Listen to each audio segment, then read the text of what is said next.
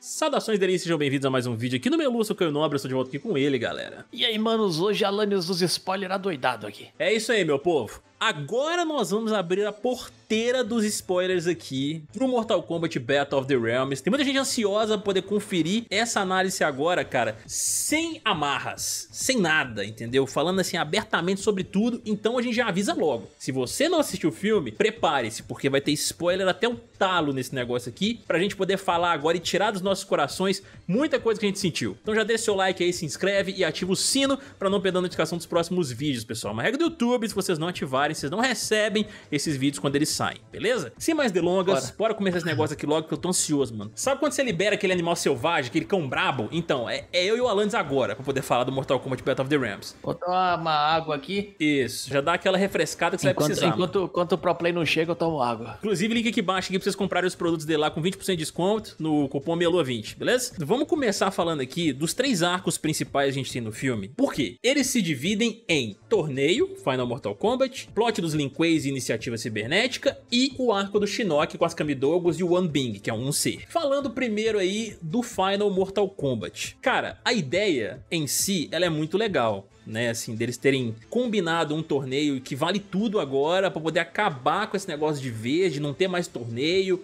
os reinos ficarem livres aí, ou então serem totalmente dominados caso o pessoal de Outworld vença. Mas eu acho que essa parte do torneio, por mais que ela tenha sido foda em alguns aspectos, em termos de lutas ali que ficaram muito da horas, a brutalidade também dentro do torneio é muito legal. Por outro lado, ele ficou mal aproveitado, porque certas lutas ali, como a gente queria muito ver, né, Alanis, que tem no trailer de Divora e Johnny Cage, Sonya e May, Jax e Quintaro e tudo mais, ficaram totalmente subaproveitadas. É uma parada que acontece ali em, sei lá, mano, acho que uns 10 segundos, talvez até um pouquinho mais, entendeu? E acabou. Só pra dar um exemplo aqui, claro, já que estamos com spoilers ativos aí, né? A luta do Jax com o Quintaro, que era aquele momento, né, Lance, pra gente poder ter aquele gostinho do Jax se vingando de um Shokan, por ter arrancado os braços dele no primeiro filme, igual foi no Scorpion's Revenge, né? Mano, o negócio já começa com o Quintaro segurando os braços do Jax, tentando fazer um esforço pra poder arrancar fora, ele não consegue, o Jax vai lá e faz o que ele tava tentando fazer com o Quintaro. Arranca os braços Sim. dele e acabou a luta. Acabou. É isso, corta a cena. A gente nem vê se o Quintaro morreu ou não. É, e eu queria comentar um lance, que isso daí tá, faz tempo que eu queria comentar aqui, porque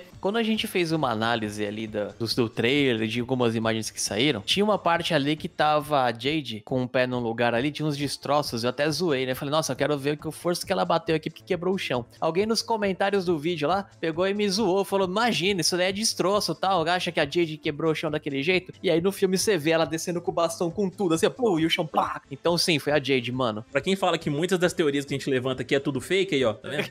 Acertou mais uma. A luta da Jade contra o Liu Kang mesmo, tá toda no trailer. Assim, tá, não tá inteira, tá 75%. Eu diria uns 90%, entendeu? É, exatamente, porque ela dura o quê? 5 segundos ali, é, roda aqui, roda ali e tal, dá um Shoryuken, acabou a luta, quer dizer, não tem nada. Essa parte para mim foi muito mal editado, esse, esse pedaço do torneio, porque o Shao Kahn, né, no meio do torneio, ele vira e fala assim, ah, vamos ter um descanso. E aí ele corta pra cena do Scorpion e de repente ele volta e tá lutando. Então a gente não tem a sensação de descanso que o Shao Kahn falou. Essa sensação de descanso ela vem depois, quando vai cortar de novo pra uma cena do arco lá do Scorpion, e aí ela volta pro torneio e você tem esse período de descanso. Outra Sim. coisa que me frustrou em cima da questão desse arco principal ali, né, do desenvolvimento do Liu Kang, por exemplo, é o começo da história, que, beleza, foi Bruce Wayne total ali, né, os caras se basearam completamente na história do Batman ali, pra criar ali o, o início da história do Liu Kang, mas uma pergunta que não teve resposta em momento algum, e isso me incomodou muito, é por que aquele Starkatânio tava na Terra? É, e por que que eles estavam atrás daquele bebê específico? Como é que eles souberam? E assim, a sensação que eles dão pra gente é que tá tudo acontecendo na, no mesmo período. Por quê? Porque você tem a invasão do Starkatânio ali, e aí de repente, logo em seguida, já vai lá pro templo lá na China, os caras enfrentando Tarkatânio. Então, assim, a, a, sensação que você tem é que a invasão aconteceu desde sempre. Que no, invadiram naquela época que o Liu Kang era moleque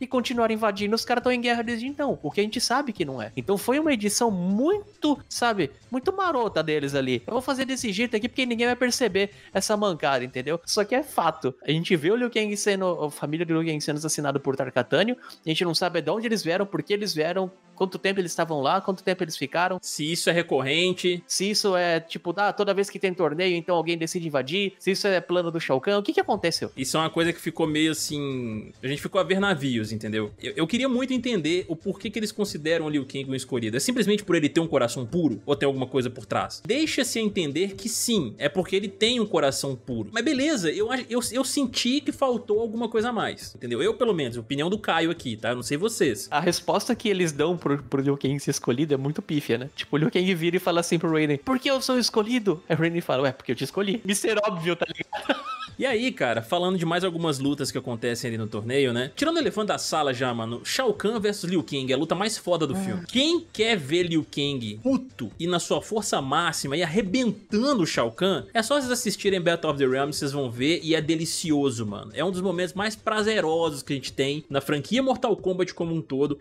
é essa luta da animação de Liu Kang contra Shao Kahn. Porque aí o Liu Kang mostra o quanto que o bicho é poderoso. Tem momentos ali que ele começa a elevar o poder dele, ficar envolto em fogo e tudo mais. Eu falei, porra, vai transformar isso Super Saiyajin daqui a pouco desse jeito. não, os, os caras realmente transformaram o Liu Kang no Goku naquele finalzinho ali da luta. Ele tá caindo, de repente, do nada, ele começa a pegar fogo e dispara na voadora, assim. Mano, é muito louco. Na moral, é muito louca a luta. Ficou mais parecido com Dragon Ball do que com Mortal Kombat. Eu acho que até por isso que a gente achou muito louca. Nossa, a hora que o Liu Kang faz assim com a mão e desfaz a maldição no braço dele sai na porrada.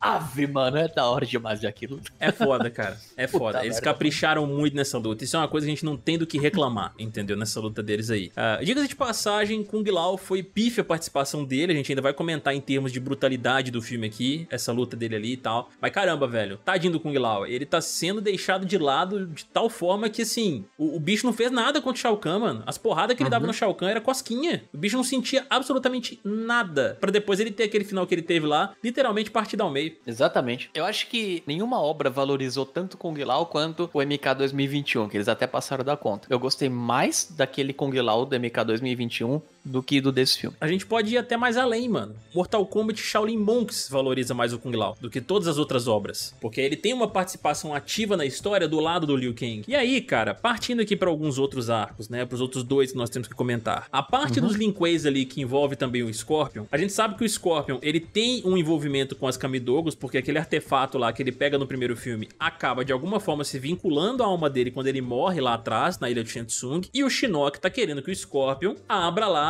a porta de um lugar lá no Templo dos Elementos para ele poder pegar a última Kamidogo, para ele poder ressuscitar o, um ser e tudo mais. E aí a gente tem o envolvimento dos Lin a gente tem Sub-Zero e Smoke ali numa sessão de sparring muito da hora, aquela luta ficou muito foda mesmo, a gente vê os poderes do Smoke principalmente ali, construíram muito bem o personagem, e a gente vê o Kuai Liang falando lá que ele ainda não é digno de usar a roupa do irmão dele, se tornar o próximo Sub-Zero, essas coisas. Esse tipo de coisa assim ficou bacana, mano, sabe? Essa construção. Pena que dura pouco. Porque o Smoke, logo depois ali, eles vão trocar uma ideia com o grão-mestre. Aí o grão-mestre fala: então, nós estamos agora com um plano para poder garantir as nossas missões e tudo mais e tal. E aí vem Cyrix e Sector, que o Smoke e o Kuai Liang, eles estavam se perguntando, tipo, pô, os caras sumiram, pra onde que eles foram e tudo mais, né? E aí eles já aparecem como robôs e já começam a ir atrás do Sub-Zero e do Smoke poder transformá-los em robôs também. E aí sai aqueles verminhos dos dedos lá, parece um filme, um filme de antigamente aí, mano, que entra os vermes na galera aí na cabeça e tudo mais e controla esse, que eu não lembro muito bem o nome mais.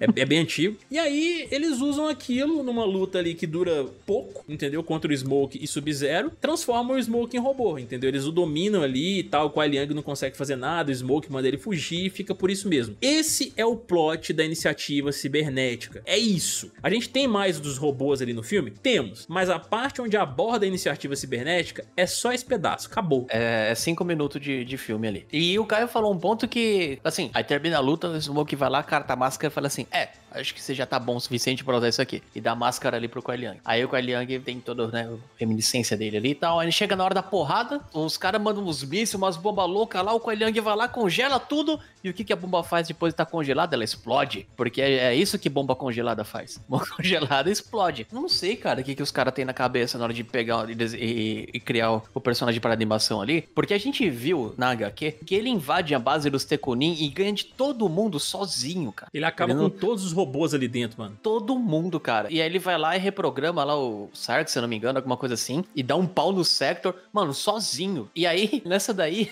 os bichos vai lá e joga uma cordinha na perna dele, tá ele e o Smoke lutando lá. A cordinha abarra, ele cai, em vez dele congelar a cordinha e quebrar assim num peteleco, ele faz uma faquinha de gelo e fica tentando cortar o cabo de aço, mano. Puta merda! São certas coisas que a gente sabe que o Sub-Zero, poderoso como ele é, mano, ele não faria. Eles quiseram mostrar uma espécie de Kuai Liang inexperiente ainda pra gente, que acha que não tá nos pés do irmão. Esse ponto ficou legal, mas certas decisões que eles tomam com base no personagem, eu acho que não precisava. Ele é mais esperto do que isso. Sinceramente falando, algumas coisas que eles fizeram ali, eles acabaram subestimando, sabe, quem é fã da franquia e conhece bastante os personagens. Quem acompanha né, os jogos e as HQs e tudo mais tal, quer dizer, acompanhou as HQs no caso, né? Vê o Liang ali, as decisões que ele toma e fala, mano, tá certo, você quer ser igual ao seu irmão, entendeu? Você acha que você não tá no nível dele, não sei o quê. Mas tem outras formas de demonstrar. E aí, mano, falando de Cyrex Sector e Smoke também, que se transforma em robô, ele aparece depois no filme aí, né, mais pra frente. Eles fizeram desses robôs no filme personagens, assim, muito overpower. Eles são muito fortes, cara. Tanto é que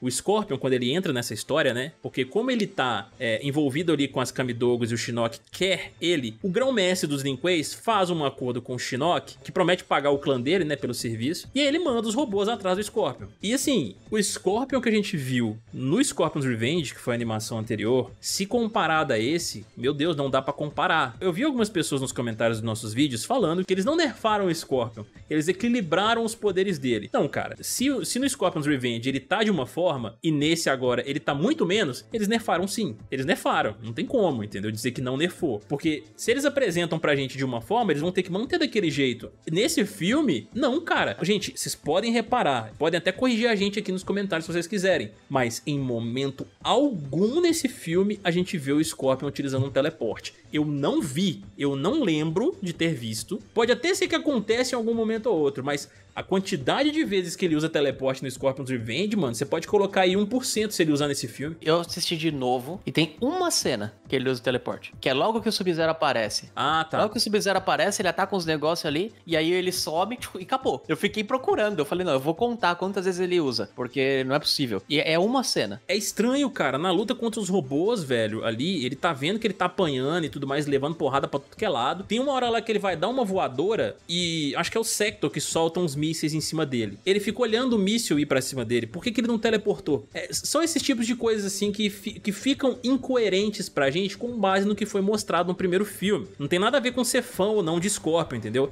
É justamente algumas inconsistências com o personagem que foram mostradas no primeiro longa. Mesma coisa com o Sub-Zero. A gente sabe o quanto o Sub-Zero é poderoso, mano. A gente viu nas HQs, o Alanis bem citou aí a invasão dele lá no, no centro dos Tekunins e tudo mais, o que ele faz. Ele arranca a cabeça do Sector numa facilidade tão grande, mas tão grande, que a gente fica até abismado, entendeu? Com o tamanho do poder do cara. Nesse aqui, mano, ele apanha igual um louco também. Eu acho que faltou desenvolvimento pro Sub-Zero nessa parte aqui. Assim como a relação dele com o Scorpion. A luta deles, que a gente queria tanto ver o desenvolvimento dos dois personagens, a todo momento é interrompida pelos robôs. O Cyrus e o Sector Smoke. Quando a gente começa a ter um desenvolvimento deles ali e tal, a rixa entre eles acontecendo, entra os, os três no meio, interrompe o negócio, aí você fica, meu Deus, para de interromper, deixa os caras desenvolver aí, mano. Se você não leu as HQs e quiser saber o lance do Sub-Zero e tudo mais, a gente gravou um vídeo contando a história do Sub-Zero antes do Mortal Kombat X, né, do jogo, uh, a história das HQs. A gente contou a história, então tem um vídeo gravado aqui no canal. Dá uma procurada aí que vocês vão curtir. Aí vocês vão ver direitinho ali,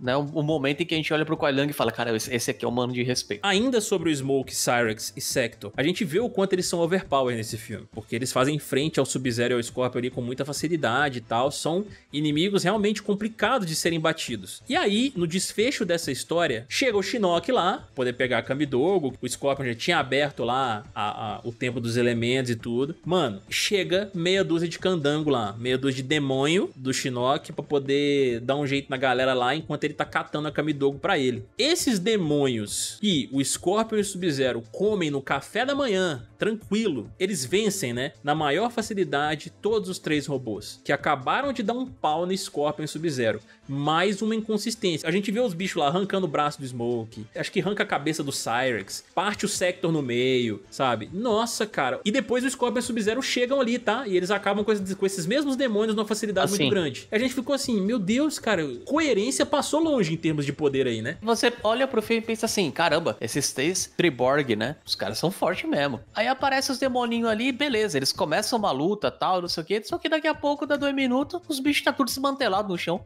A sala ali tá parecendo um ferro velho. Além disso, outro Mr. Óbvio ali é o grão-mestre dos Linkway, né? Eu ouvi dizer, né, que os Linkway, eles são, tem serviço de inteligência ali, né, tal, os caras são inteligentes, que são ninja, espião. De repente, né, o grão-mestre chega lá e, né, ele recebeu um serviço do Shinnok e aí ele olha e fala, "Ah, você é o Shinnok, tá ligado? Tipo, Ele não sabia de quem era o serviço quando ele recebeu. Ele não sabia pra que propósito era. Ele só sabia que era pra capturar o Scorpion. Mano, é, é muito estranho. Os Linquays, eles são considerados a maior organização de assassinos que tem no mundo. Até, obviamente, o Sub-Zero liderá-los para um caminho melhor. Mas, cara, é impressionante, mano. É da gente ficar assim, tipo, pô, você é burro, hein, o grão-mestre do Zinquay, pelo amor de Deus. e aí a gente tem esse arco do Shinnok aí, com as Kamidogos e o um ser. Só faltava uma Kamidogo pra ele poder pegar, as outras ele já tinha lá com ele, em posse. a gente não sabe como é que ele pegou, quando ele pegou. Como que foi isso, né? Porque a gente sabe que, por exemplo, o Reino do Caos tem o Havik. Como é que ele passou pelo Havik? Eu, eu acredito que ele possa ter encontrado alguma resistência contra o Havik, não sei. Daí ele pega a última Kamidogo, utiliza seus poderes e meio que se transforma num ser. Um bicho gigante lá que começa a fazer um merge de todos os reinos. A gente vê os reinos se fundindo de Outworld, o reino da Terra e tudo mais. Tanto é que os Tarkatanios começam a atacar os seres humanos e tudo. A gente vê uma luta generalizada em tudo que é lugar. E aí aparece um ser gigante. E é nesse momento, depois do Liu Kang também vencer o Shao Kahn, que os Elder Gods vão lá e falam: Mano, nós precisamos de você. Nós vamos entrar dentro de você aí pra você poder despertar uns poder muito louco e dar um pau lá no Shinnok, um ser pra nós. E aí o Liu Kang ele vira o deus do fogo lá. E é muito da hora, inclusive, a cena, mano. Essa importância que eles dão pro Liu Kang ficou legal pra caramba nesse filme. Era o que precisava. Mas aí, mano, chega um momento ali que o Liu Kang vai lutar com o Shinnokão, ele vira um dragão que mais parece uma lagartixa. A, a forma como o dragão do Liu Kang luta ali parece mais uma cobra do que um dragão. Foi o que passou pra nós. A referência ficou da hora pra caralho, mano. Ele se transformar em dragão. Isso ficou muito foda. Eu acho que os caras acertaram muito nesse ponto. Agora, a execução disso que eu acho que eles pecaram. Quer ver? Eu vou dar um exemplo de dragão. Vai, vai lá e joga o Sekiro, Shadows Die Twice lá, e vê como que é o dragão dos caras lá. Aí você vai lá e vai ver o, o- o tipo de dragão que os caras transformaram no Liu, Liu Kang. Mano, é um dragão com, com bracinho de T-Rex, mano. Eu não sei o que, que eles tinham na, na cabeça ali pra achar que aquele dragão ia conseguir sair tretando com, com alguém. Porque a única coisa que ele faz é vai em volta, enrolar e tentar morder. Aí o bicho vai lá, pega ele pelo rabo, joga e bum, bate no chão, sabe? A luta não tem nada muito disso. Tipo, ah, cospe um foguinho aqui e tal, e acabou. Porque também não tem mais o que fazer. E aí ele ganha a luta porque o Scorpion vai lá e quebra a pedrinha lá no, no meio da testa do bicho lá, que o bicho. ah, Ó, uma coisa que nós temos que comentar que ficou da hora foi o team-up, né? A junção ali do Scorpion e Sub-Zero, eles juntos enfrentando o Shinnok. E isso ficou da hora, velho. Cena de X-Men.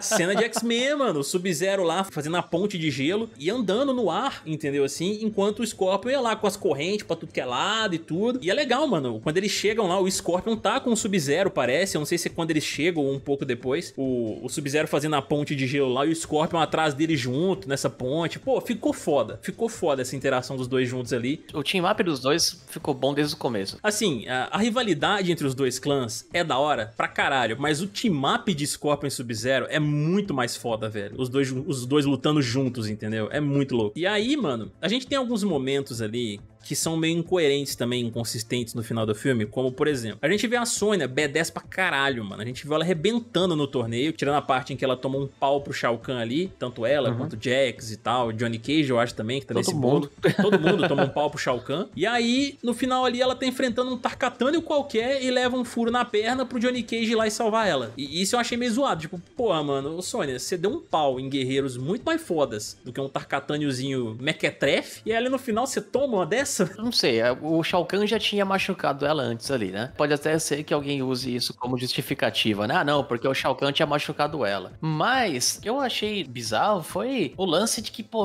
o Johnny Cage sempre precisa da Sony Perigo pra fazer alguma coisa, sabe? Da forma como foi falado no primeiro Mortal Kombat, no Scorpion's Revenge, né? É, a sensação que deu é que, tipo, quando ele encontrasse uma situação, ele ia despertar o verdadeiro poder. E aí ele vai lá, encontra a situação de proteger a Sony e tal, e a gente vê o quanto ele é zica. E aí, nesse filme, ele volta a ser um, um cocôzinho ali que não faz nada, e ele só faz alguma coisa quando é pra proteger a Sônia, sabe? Isso eu achei que ficou zoado. Eu achei é. que o Johnny Cage... Ficou mal aproveitado. É, ele tem um desenvolvimento no primeiro filme, eles deveriam pegar dali pra frente. Não deveria regredir para ele ter que ter o desenvolvimento de novo, no ponto da Sônia precisar estar em perigo para ele fazer alguma coisa, sabe? Eu não acho que é por aí. Porque ele só apanha. Ele chega lá, tal, na, na parte com a Kitana ali, que por sinal a parte é muito engraçada. Você vê que, tipo, ele não, não faz nada. Eles exploraram um pouco as capacidades do Johnny Cage nesse filme, na minha opinião. E a gente sabe o quanto ele é poderoso. Em termos de personalidade, porra, tá perfeito. Ele é o alívio cômico do filme, ele é engraçado, os momentos que ele aparece, ele rouba a cena, entendeu? Não tem como. Mas em termos de capacidades do personagem, eu acho que eles pecaram um pouco. Eu acho que os fãs de Johnny Cage vão concordar com a gente nisso aí. E aí, cara, falando algumas coisas, alguns pontos assim no filme ainda, né? A gente já falou dos três arcos como um todo. O filme foi muito corrido, não tem como, a gente já falou isso na nossa análise sem spoilers também.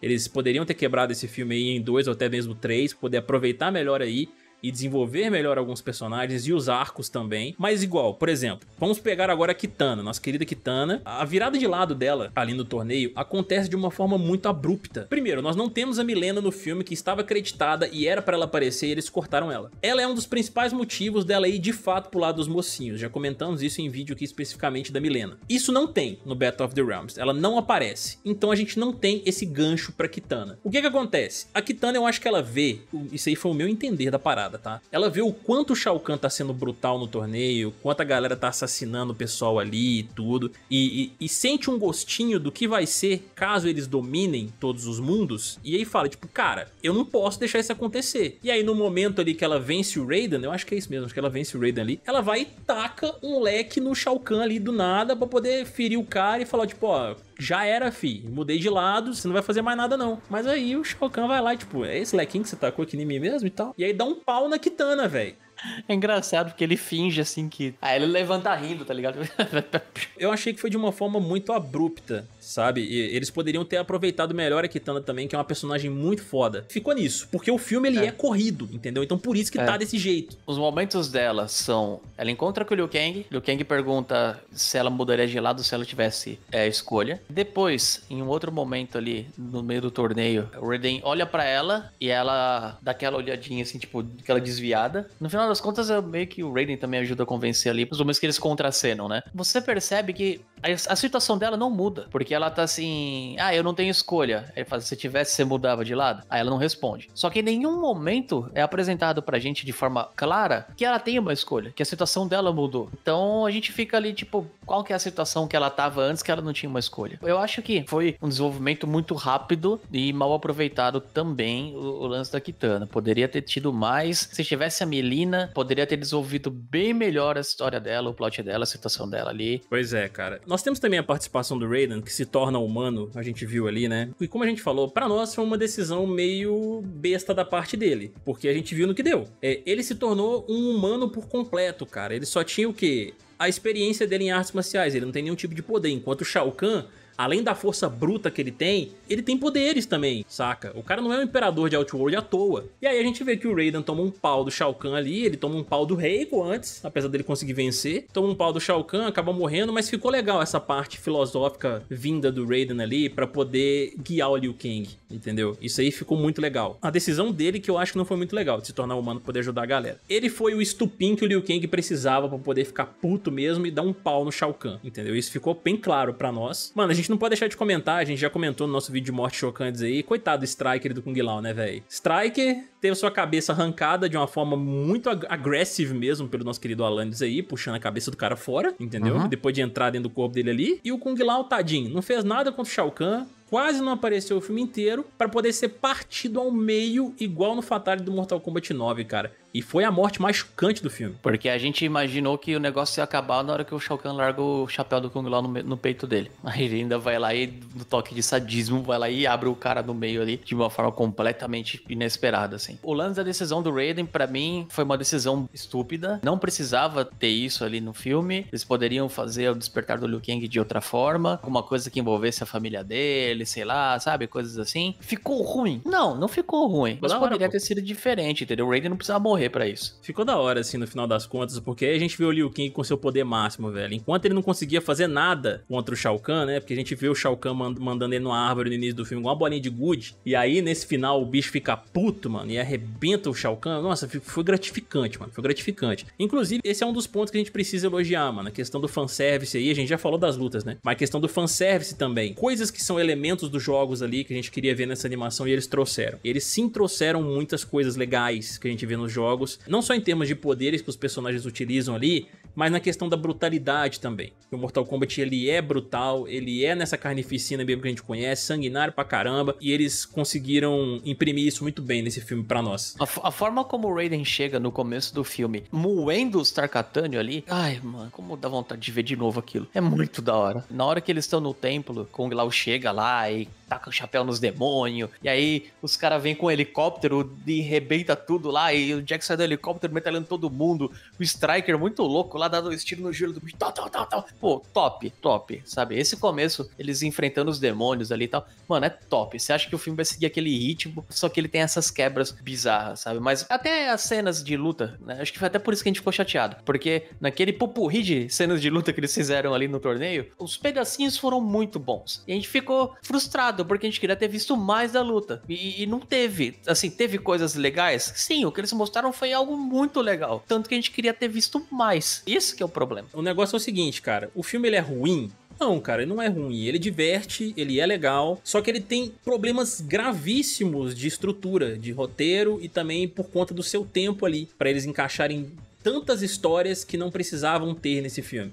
E foi uma coisa que a gente frisou muito bem na nossa análise sem spoilers, estamos reforçando aqui para vocês mais uma vez. Todas essas críticas que nós fizemos aí durante este vídeo aqui foram única e exclusivamente por conta dos problemas de roteiro, a correria e as inconsistências que eles apresentam pra gente, principalmente em algumas com base no Scorpion's Revenge, que eles já tinham mostrado para nós. Agora, de resto, em termos de brutalidade, fanservice, lutas e alguns elementos que eles trazem ali, eles mandaram bem sim, entendeu? A gente tem que ser justo aí. Mas eles poderiam ter feito bem melhor. Então, assim, se você é fã de Mortal Kombat, tá interessado, vai e assiste. Pode ir, porque, lógico, né? Se você aguentou os spoilers aqui e tá vendo isso ainda, vai e assiste. É legal. Os problemas são esses que a gente apontou. Ele tem muita inconsistência, tanto com o próprio mundo que foi estabelecido lá no Scorpion's Revenge, quanto com alguns pontos que, né, de, de construção e edição da animação em si, né? Como produto ali. Mas é isso aí, meus amigos. Espero que vocês tenham curtido. A gente conseguiu abordar tudo praticamente que a gente queria aqui. Se a gente esqueceu alguma coisa, complementem aí nos comentários comentários. E deixem também as suas opiniões a respeito agora, com spoilers. Tá liberado aí agora pra vocês poderem comentar à vontade e tal. Eu sei que alguns já estão comentando, mas a gente já tá reforçando isso aqui também pra vocês. E a gente vai adorar a opinião de todo mundo. E não se esqueça novamente de deixar o seu like, se inscrever aí e ativar o sininho pra não ter notificação dos próximos vídeos, pessoal. Vamos ficando por aqui. Um beijo pra todos vocês aí. Até mais e vamos!